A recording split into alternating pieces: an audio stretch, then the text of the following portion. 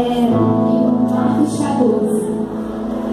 E Jesus estava num jantar americano e uma mulher se aproximou dele com um vaso de alabastro e derramou aquele nardo de perfume na presença do Senhor. E a gente sabe que o vaso de alabastro ele é feito por uma, uma cerâmica. Mas hoje Senhor está te convidando.